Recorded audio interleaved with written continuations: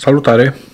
Sunt Robert și vreau în podcastul ăsta să vă vorbesc despre ofensiva ucrainiană din zona de nord-est, de lângă Kharkiv de acolo, Izumin, Izuim se cheamă, sau nu știu cum se cheamă orașul respectiv, care a fost cucerit de ucrainieni. Ofensivă care a avut rezultate remarcabile din punctul meu de vedere,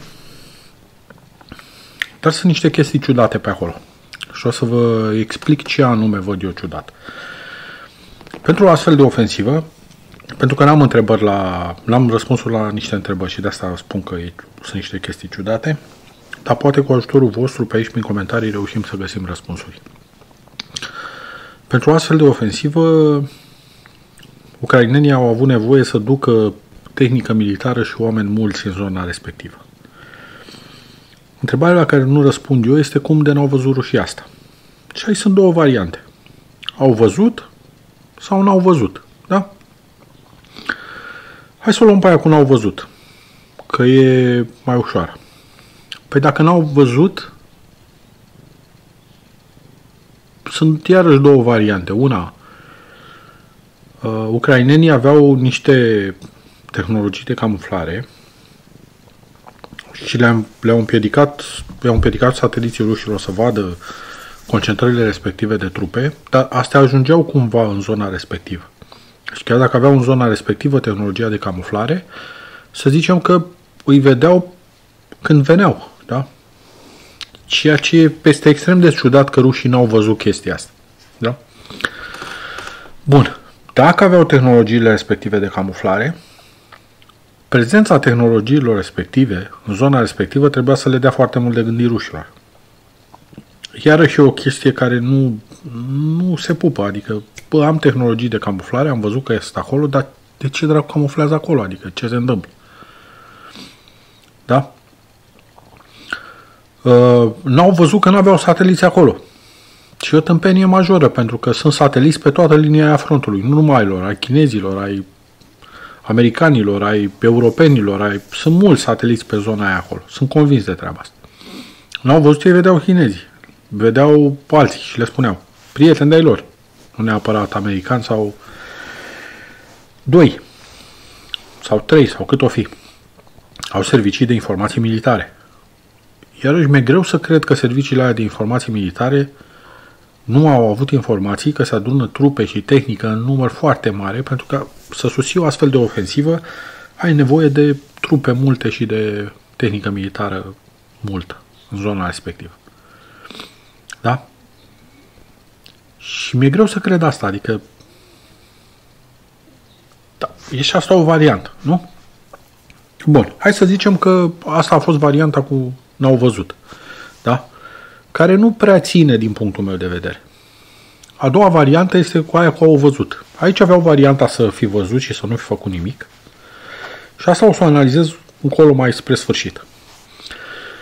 Și aveau au varianta să fi văzut și să mm, să nu fi reacționat. Dar de ce să nu reacționezi? Există varianta de trădare. Există varianta ca niște înalți oficiali de pe la Moscova, pentru că aici e vorba de trădare la nivel înalt, că sateliția nu-i controlează sau radarele care sunt acolo pe câmpul de luptă, nu le controlează neapărat ăla de acolo din teren, ca să nu spun. Sunt controlați din alte locații. Și cineva, dacă a văzut, înseamnă că n-a spus. Iarăși e varianta care nu prea stă în picioare. Pentru că informațiile vin pe mai multe direcții. Asta cu sateliții e una și probabil că e una principală. Dar vin informații din teren, vin informații de, de la radare. Adică sunt informații care vin pe mai multe direcții și e greu ca cineva care a văzut să nu fi spus. Să zicem că s-au dus pe mai multe linii și s-au adunat undeva, piramidal, ca așa se întâmplă în armată, la un centru de comandă. Și comandantul sau generalul centrului respectiv de comandă nu a spus mai departe. Păi trebuiau să fie niște furtuni pe la Moscova, pe acolo. Adică asta e o chestie nasoală de trădare. E o chestie extrem de nasoală. Și ar fi trebuit să cadă niște capete. Capete care nu au căzut în toate zilele astea. Adică eu am văzut că e liniște și pace, nu s-a întâmplat nimic. Da? E posibil să nu știm noi asta, dar de obicei, așa cum ne-au învățat uh, ucrainenii și serviciile de informații britanice, imediat apăreau chestiile astea prin, prin presă. De asta vă spun că sunt niște lucruri ciudate. Hai să analizăm varianta cu au văzut și n-au făcut nimic. Varianta asta are multe șanse să se întâmple. De ce ar fi făcut asta? Aici mai sunt niște lucruri, vi le-am povestit și în filmulețul trecut. De ce au ales zona aia? De ce în zona aia acolo s-a dat contraofensiva asta? Acolo e un râu, e singurul râu din zona respectivă, adică dacă te uiți până în sud, pe linia frontului, nu prea mai există nimic. Râul este o, o, o, un obstacol natural foarte nasol, atât pentru ea cât și pentru aia alții, deci era clar că ucrainienii se vor opri în râul respectiv și ar fi fost forțat să se ducă prin sudul râului sau prin nordul râului. Și ei am văzut că s-au dus prin nord. A doua chestie ciudată este că zona aia este foarte aproape de granița Rusiei. În momentul în care ofensiva aia se duce prin nord, ea are foarte mari șanse să ajungă în Rusia, ținând cont că granița e acolo, dacă nu va fi oprită. Asta e iarăși ciudat. De ce prin nord și nu prin sud? Adică ce fac ucrainenii în zona de nord acolo? Că nu prea au ce face, mai degrabă în zona de sud unde aveau de eliberat provinciile alea.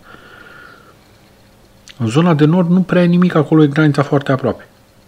Da? Deci sunt niște chestii extrem de ciudate.